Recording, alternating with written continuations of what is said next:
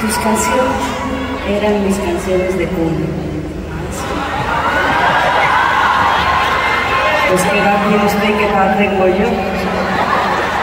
Pues para que sea de cuna tenía que haber sido un bebé, ¿verdad?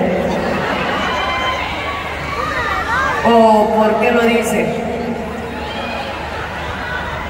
Porque eso de cuna puede ser un doble sentido, no sé si aquí lo estén manejando, pero pues ojalá que llegue a la edad que. Porque si mis canciones eran canciones de cuna, imagínense, ¿quién como tú?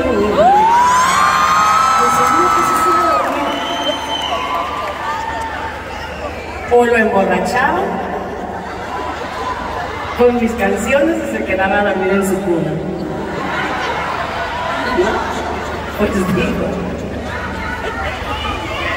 ¿Eh? ¿Eh?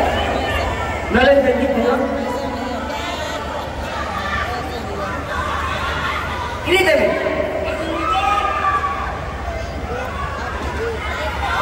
Quedé igual. No, ahí no se lee. Trae más brillos que yo, ese es letrero. Trae más brillos que mi blusa. Bueno, pues vamos a continuar. Estoy tratando de,